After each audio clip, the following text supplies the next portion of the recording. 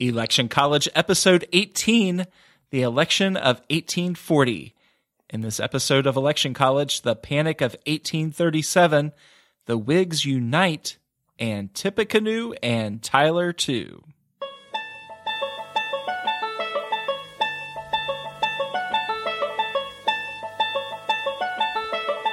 Let's throw a political party.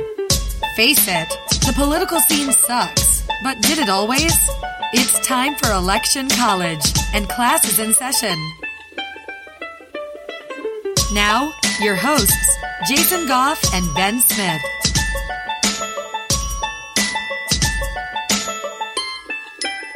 Hey everyone, I'm Jason Goff, And I'm Ben Smith.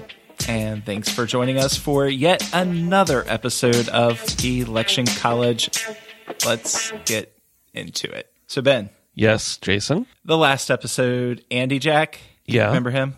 I do remember him. He was um he was a president. Yeah, he selects his successor and he does it early. And he's like, "Hey, Marty, come here. I got a sweet deal Marty. for you." Marty, I think you should be the president. So, of course, Andy Jack is real popular, and Marty, like other people we've seen in the past, is totally running on the coattails of his of his predecessor. In this case, it's Old Hickory, and he wins in 1836. Old Hickory. How'd you like to be named after an old tree? That sounds like a great idea. I would love it. And as a matter of fact, you know, Ben, I was just in Nashville. Mm-hmm. Everything is Old Hickory this and Old Hickory Yeah. that. Yep, it absolutely is. They're really proud of him. Jason Old Pine Tree Golf. Yeah. Did I call you Golf? Your name is I've known your name for 27 years and I just called you by the wrong name. Why'd you do that? I don't know. Anyway, the Whigs are in 1836 when Marty is running. They're a disaster, and I mean that we should only assume that's going to continue for uh, the length of Van Buren's term. I mean, the Whigs are awful. Van Buren's the best, right? Right, forever, because that's what happens. Whenever a party loses, they have zero chance of ever recovering. Um, there's just absolutely no chance. Mhm. So the Whig Party is basically they're dead. Yep, never to be seen again. So Marty announces his uh, during his campaign during 1836 that he's going to follow right in the footsteps of his illustrious predecessor Jackson. He even goes as far as to retain all but one of Jackson's cabinet. Yeah. And Ben, you remember how Andy Jack hated banks and paper money? I sure do. Pretty funny. and that's the reason he's on the twenty dollar bill. Mm-hmm. Somebody was really using some irony in that situation. I'm positive. I know. It's kind of like I'm wearing a T-shirt right now that says 100% Canadian. Yeah. I'm not. No. No.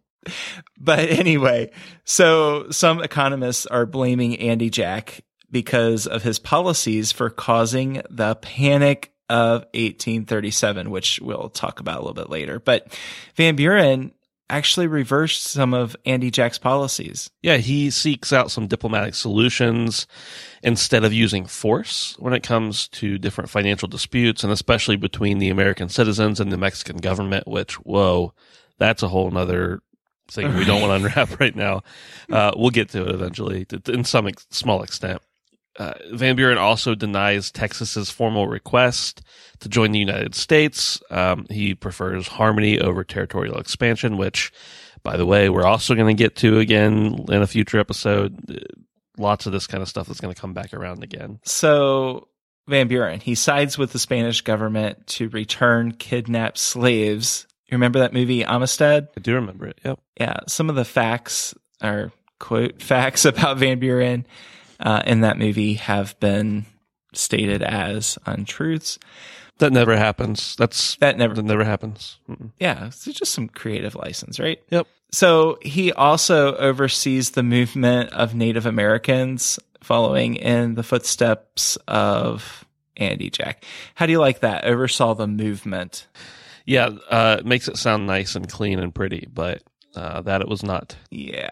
So he continues the war with the Seminole Indians in Florida, and he's got some issues going on with the Mormons in Missouri. Yeah, the Mormons had settled in Independence, Missouri, and then the governor of Missouri was like, "Hey, by the way, um, get out."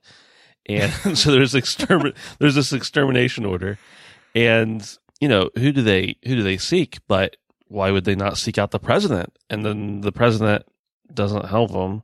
And a lot of people said he just really wanted to get Missouri's votes, so he wasn't going to make anybody in Missouri mad. So he didn't help the Mormons. Yeah, I get this, Ben. He considered slavery immoral, but hey, it's sanctioned by the Constitution, so whatever.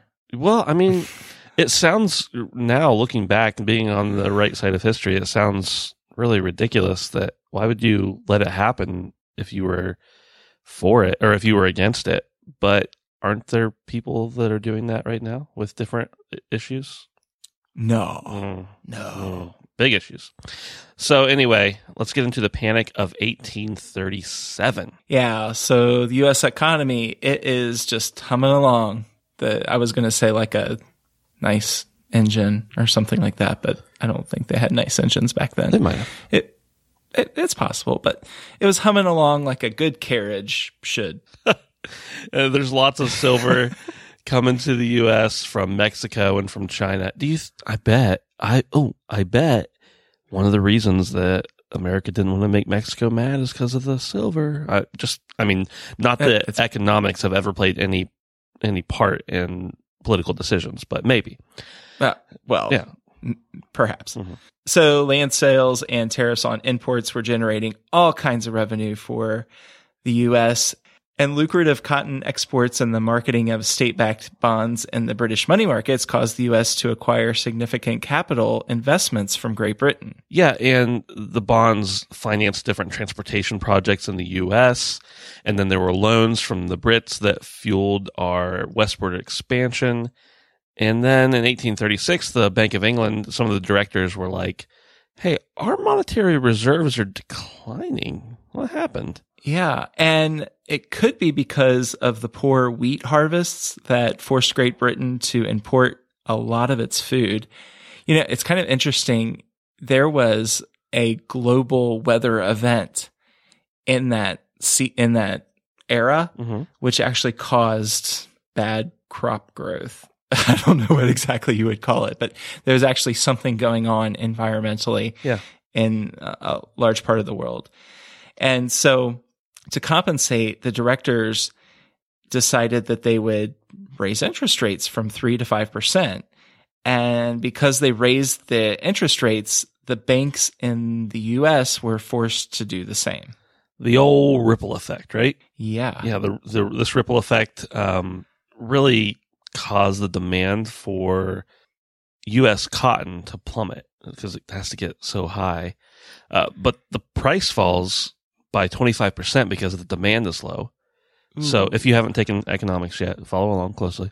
Since the or haven't taken it in a long time, like me, since the U.S. economy, especially uh, in the South, is really heavily dependent upon cotton prices, and and then they either need to be stable or going upwards.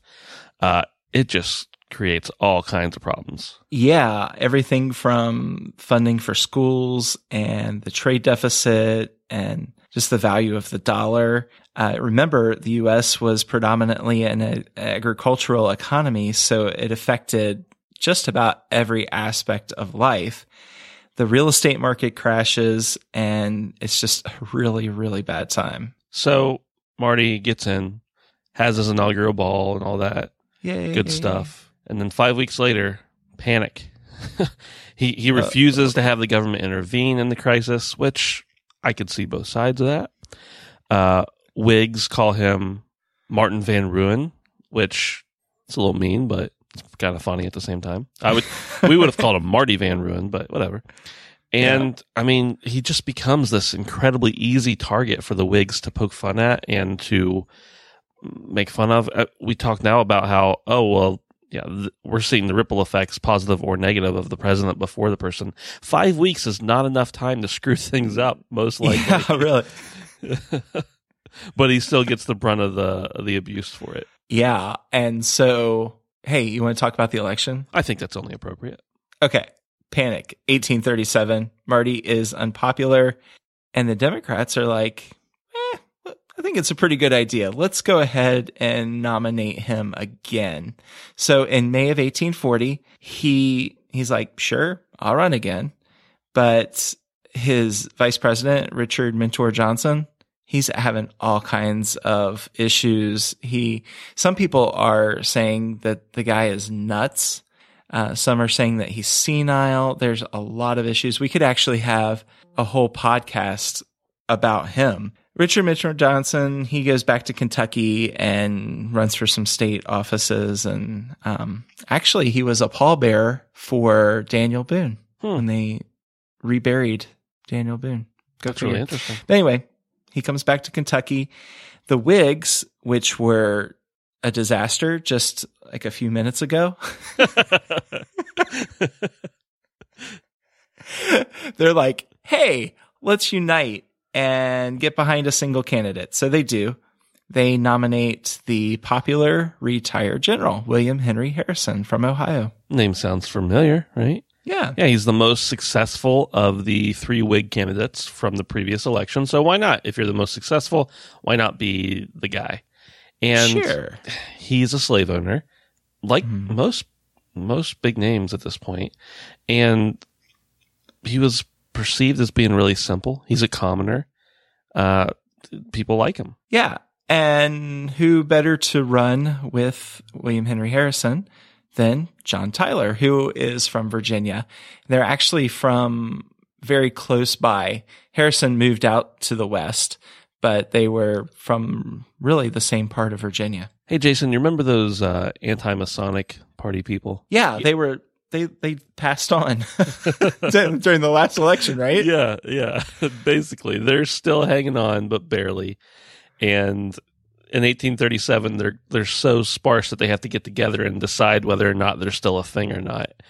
And so, in 1838, in November, they hold a convention and they nominate William Henry Harrison for president and Daniel Webster for vice president. Oh, that sounds like a good idea. Yeah. Poor Marty. He's so, So- unpopular at this point. Just just to clarify, the Whigs and the Anti-Masonic Party nominate William Henry Harrison. yeah, that's pretty crazy. So the anti-Masonics are like, hey, we're probably going to lose. So let's nominate somebody who's likely going to win.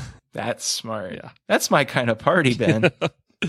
yep, absolutely. so Marty, he's pretty unpopular and I mean, are the Democrats even going to survive? Um, I think we mostly know the answer to that, but let's just pretend like we don't right now. Okay. It's iffy.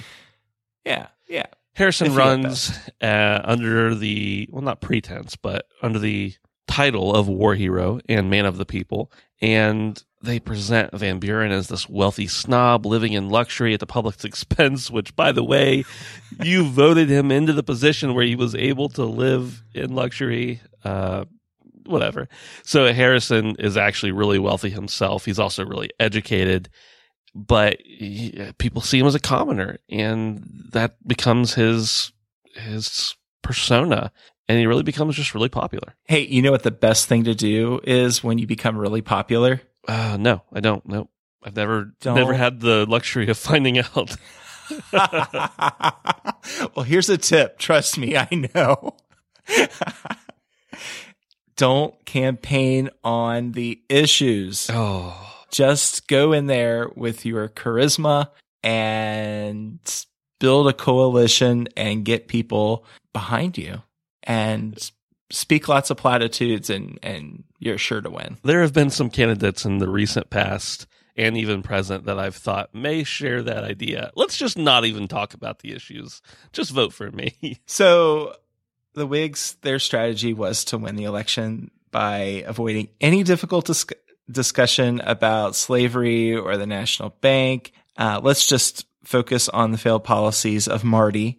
And Harrison was the first president actually to campaign actively for the office of the president. yeah, have you heard the slogan "Tippecanoe and Tyler too"? Yeah, all over the place because guess where I live? Kentucky. Yeah, but like three blocks away from Cincinnati. That's right. And in Ohio, even though he was, spoiler alert, only president for just a little bit, he's all over the place around here. And there's actually a city in Ohio, just north of Dayton, called Tipp City after this whole Tippecanoe thing, which was actually in Indiana.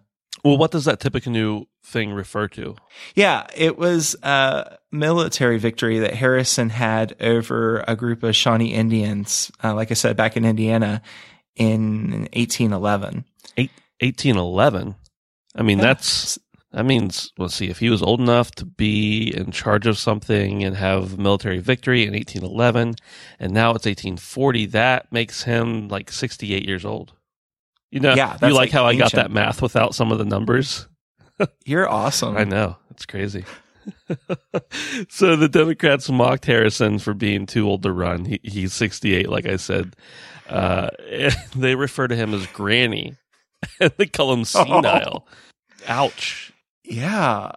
So one Democratic newspaper even said, quote, give him a barrel of hard cider and a pension of $2,000 a year, and he will sit the remainder of his days in his log cabin. Yeah, if he's smart, he will.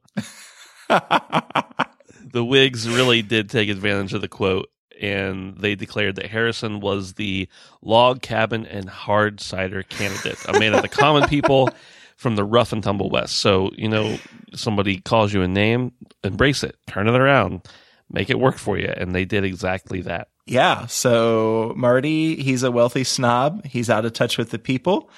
And even though Harrison was the one who came from a family of wealthy planters, and Marty's father was in fact a tavern keeper, Harrison, he was the guy who moved to the frontier and for years lived in a log cabin while Marty became the well he became the well-paid government official. So, go figure. Yep, yep. But like we said, it's an economic depression. People aren't real happy. They go to vote and they vote for the guy who is not responsible, whether in reality or impression, responsible for their economic demise. So Harrison wins and he wins over the Western settlers. He wins over the Eastern bankers, wins a lot of stuff. Yeah, like even in Tennessee. Okay, so Old Hickory, he's over there at the Hermitage, right? Mhm. In Nashville. He's hanging out. He's probably growing some crops and tending the sheep and smoking cigars and all that kind of stuff. Mhm. He's stumping for Marty. He's like, come on, guys, let's vote for Marty. No, Harrison still wins in Tennessee. And you can really echo that anywhere and everywhere across the country. But get this, Ben. Van Buren loses the electoral vote, right? Mhm. 234 to 60. Ouch. Yeah. That's a but the popular vote, yeah. Yeah, it's like overwhelming. But the popular vote was only lost by 146,000 votes. That's insane. For the amount of people that were voting, he did not lose by that much. Though the 146,000 is like as many as voted in the whole first election. But that's beside the point. There's a lot more people voting now. But Right. he wins or he wins those votes in the exact wrong way, a la Al Gore, to get him 234 electoral votes to 60. So, ouch. He Yeah. he does well, but does not get anywhere near winning. So William Henry Harrison, he's in. Tippecanoe, Tyler too. You know what I like more than a good nickname? I don't know. A nickname is a pretty good thing to have. That's true. What's your nickname? Do you have a nickname besides golf? Well, that wasn't my nickname until just now. but I do like when somebody gives me a really nice review. And what better place to get a nice review than iTunes? Yeah, CA Toolbox says some history podcasts are boring and just stick with the facts. Well, I hope we stick with the facts as much as we can. But uh, and some are closer to the hardcore history style and keep you engaged with colorful details. That first of all is really really humbling to be compared to hardcore history at all. Uh, Definitely. These guys definitely know what they're doing and were able to keep my attention.